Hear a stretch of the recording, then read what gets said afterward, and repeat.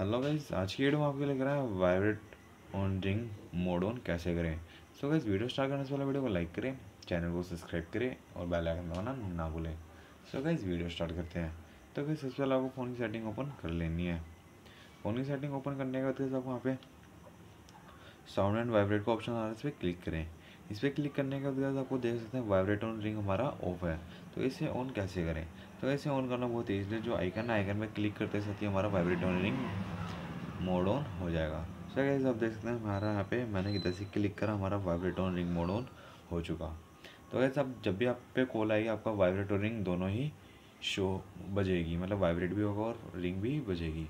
तो इस वीडियो अच्छी लगी तो वीडियो को लाइक करें चैनल को सब्सक्राइब करें और बेल आइकन दबाना ना भूलें। थैंक्स फॉर वॉचिंग वीडियो मिलते हैं नेक्स्ट वीडियो में। टाटा। Bye bye